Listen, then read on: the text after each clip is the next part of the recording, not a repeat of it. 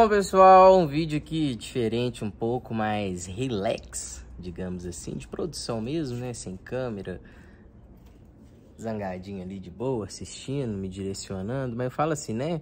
Tô gravando com o próprio celular aqui, sem microfone e tal, mas para vocês é, tirarem a dúvida que me fazem demais. Qual que é esse capacete que eu estou usando?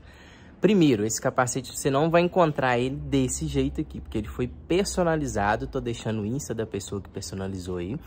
E ah, é uma arte própria, vocês percebem que dependendo de onde que ele pega, no sol e tal, ele vai mudando de cor, né? A famosa furta-cor, né? Essas tintas maravilhosas e malucas e tal. E o interessante dele é que à noite, se bate uma lanterna, meu irmão fica muito doido. Quem acompanhou a cicloviagem viu os vídeos à noite aí, eu fazendo selfie, né, do próprio celular.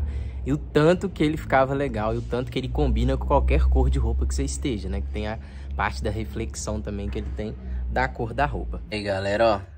Até trouxe ele aqui para um lugar escuro para gravar ele com uma lanterna do celular, pra vocês terem noção como que fica.